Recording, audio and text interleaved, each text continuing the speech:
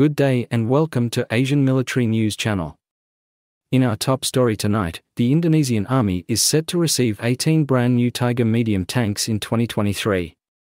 These tanks are the latest version of the Harimau tank, made by PT Pindad Bandung, and come with visible differences compared to the old version. According to PT Pindad's public relations manager, Komarudin, the new version of the Harimau tank was made based on the requests and feedback from Indonesian military personnel who use the tank. One of the most noticeable differences is the shape of the bow, which is slightly sharper downwards, allowing the tank driver to have a better view from the wheelhouse. In addition to the changes made to the bow, other parts of the tank have also been adapted to the specific needs of the Indonesian military.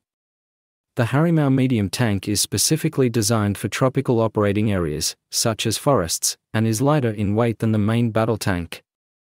It is important to note that the Pindad Tiger medium tank is the result of a collaboration between PT Pindad and FNSS Turkey, based on FNSS's original product called Kaplan.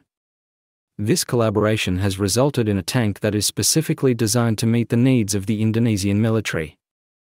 The new version of the Harimau tank is expected to strengthen the Indonesian Army's capabilities in 2023, and we will continue to monitor developments and bring you updates as they become available. That's all for now. Thank you for joining us on Asian Military News Channel, and we'll see you again soon.